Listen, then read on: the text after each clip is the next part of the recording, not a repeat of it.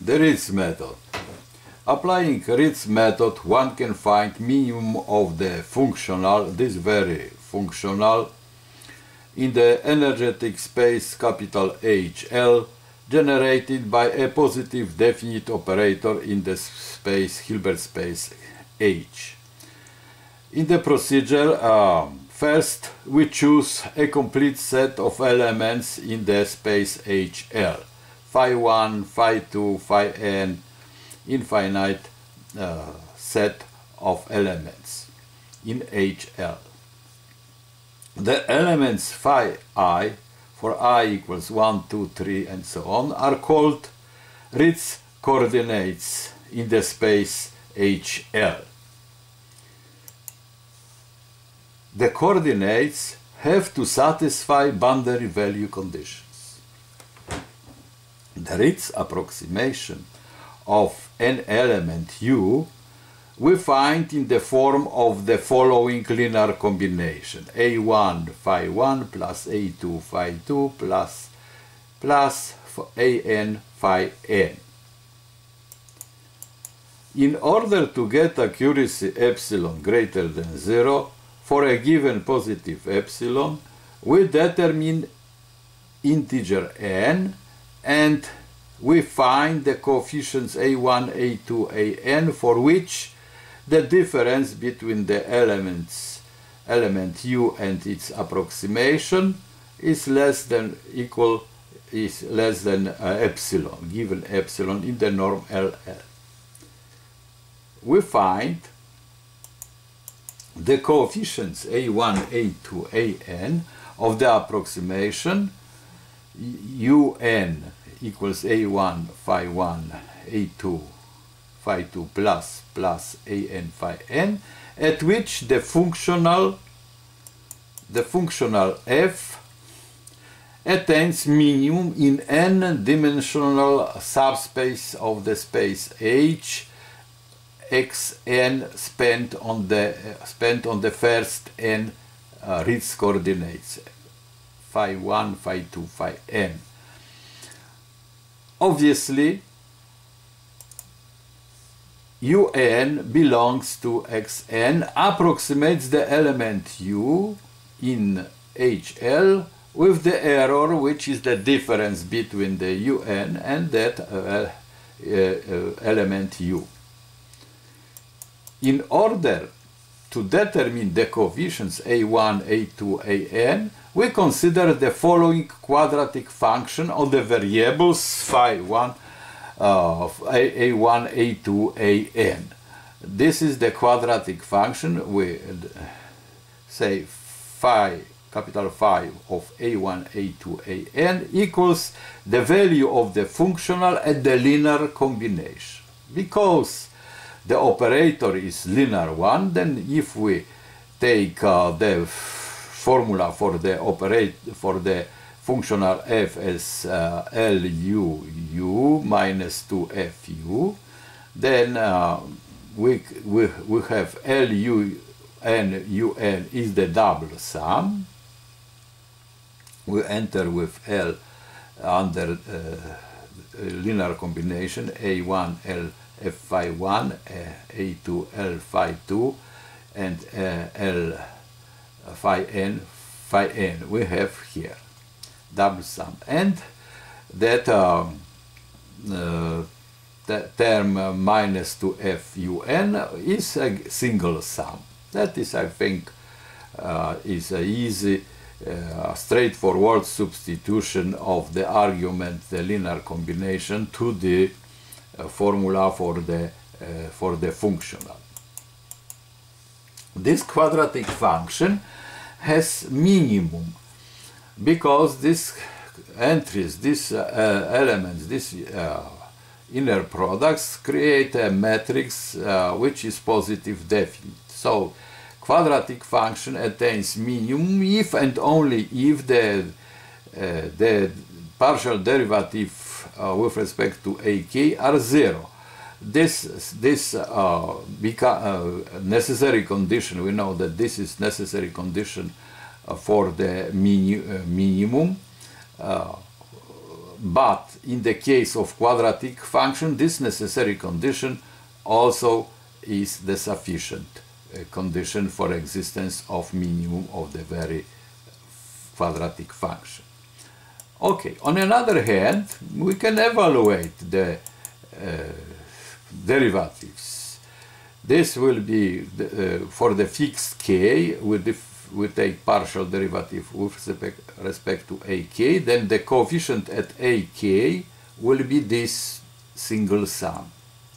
So if we differentiate with respect to ak, we remain with this coefficient. Again, the coefficient uh, at uh, ak in the single sum will be this coefficient. So if we differentiate with respect to ak, we remain with this coefficient. So this derivative is to be equal 0 at the point and the minimum. So comparing this with 0, we arrive with the system of linear equation, a Ritz system of linear equation, L phi 1 phi 1 A1 plus L phi 2 uh, phi 1 A2 plus plus L phi n phi 1 L uh, uh, uh, that will be uh, an is not L here. F phi 1 and the second equation and third equation and the last equation. So we have n equations and n unknowns. The matrix of that very system of equations A consists of the inner products yeah so the matrix is Gram's metric matrix and from the mathematical analysis that the Gram's matrix of linearly dependent elements phi 1 phi 2 phi n uh, is positive definite and uh, non-singular. Therefore, this system of equation has a unique solution, a 1 star, a 2 star, a n star. So, uh, which is uh, which uh, uniquely determines the approximate solution an as a linear combination, as we have said. Example. Let us recall the example we have considered uh, before. Minus second derivative equals 0 when x is from 0 to half, minus 4 if x is from half to. This is discontinuous function, right hand side given, uh, with the homogeneous boundary value conditions at 0, 0, at 1, uh, 0 again.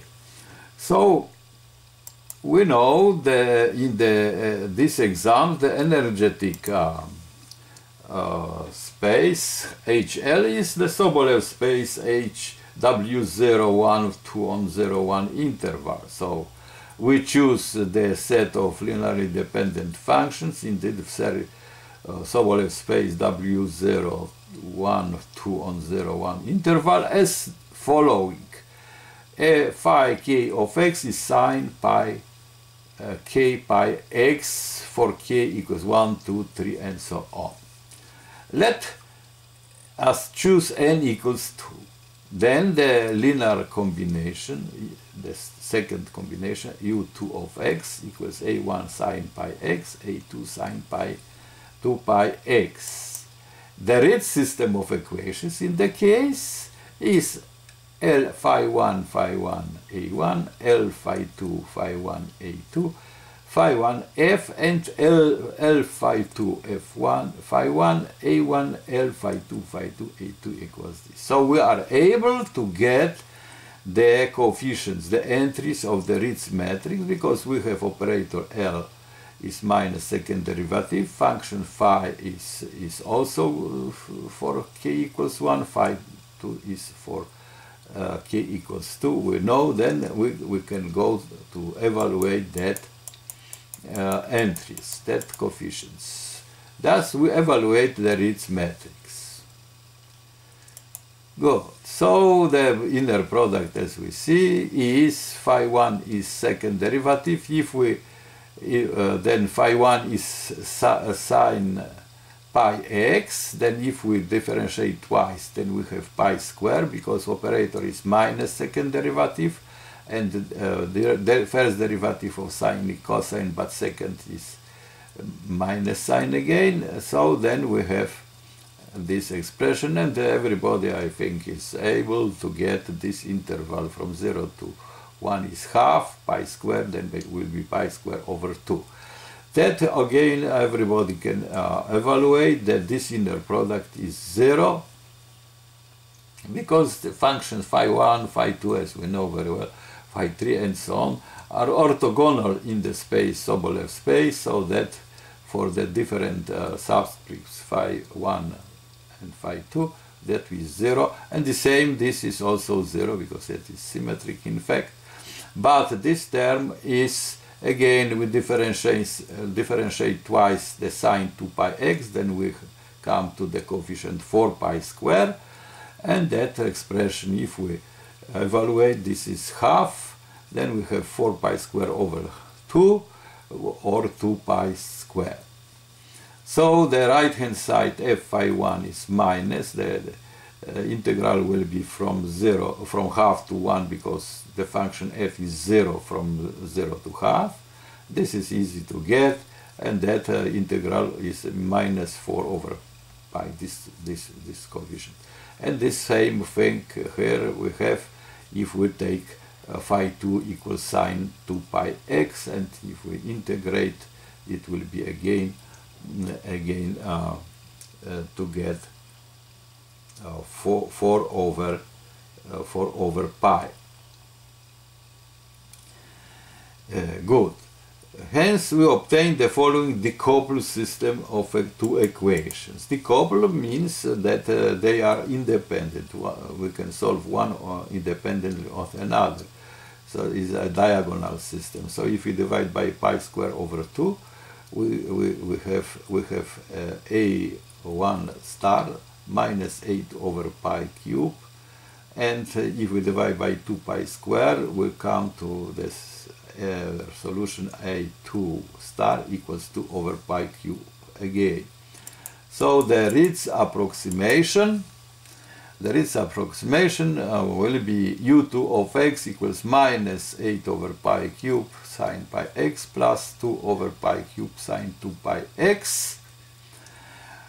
Because we know we are in good position, because we know that the uh, solution of the boundary value problem, it is the function u of x uh, minus x over 2 from x from 0 to half and 2 pi uh, 2x squared minus 5 over 2x plus half from half to 1. That is the function, this is a weak solution of the boundary value problem um, because uh, it, it is a continuous function but not differentiable at half as we know. So we can uh, find, we can evaluate the maximal error because we have the approximate solution and we have the theoretical one. So the difference between them we can uh, find maximum and maximum is about 0.012 quite good approximation by uh, by the Ritz method considering only two terms in the in the approximation. Thank you